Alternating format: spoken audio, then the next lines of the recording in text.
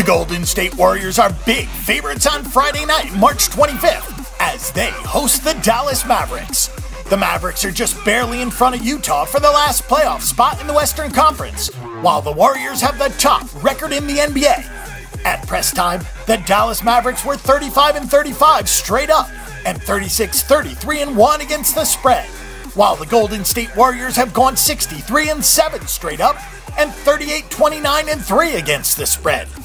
The Dallas Mavericks were 15 and 18 in their first 33 road games, while the Warriors were 32 and 0 in their first 32 games at home.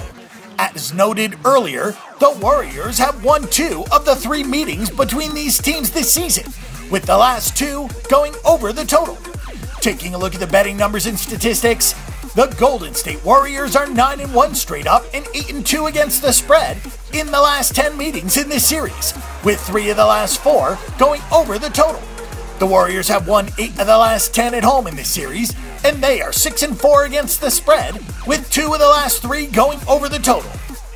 For our pick and prediction on this matchup, we'll lay the points with the Golden State Warriors and also play this game over the total. Click over right now and check out all the NBA odds on the board and make a few wagers at betdsi.com.